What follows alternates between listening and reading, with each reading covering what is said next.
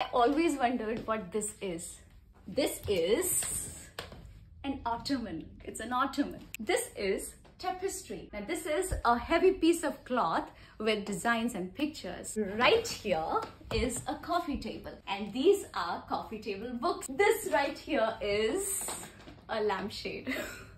you see this light? This is a focus light. It throws focus on stuff. These curtains are sheer curtains, sheer curtains, okay? That is Marine Drive. and these these are blackout curtains. Sheer curtains, blackout curtains. This is wall paneling. Moving to the washroom. This is a slider door. Here you see these towels, the sheet, pillowcase. All of this together collectively is called linen. These are toiletries. Toiletries. You know this is a suite, not suit. I booked this trip with Kayak. You must check it out.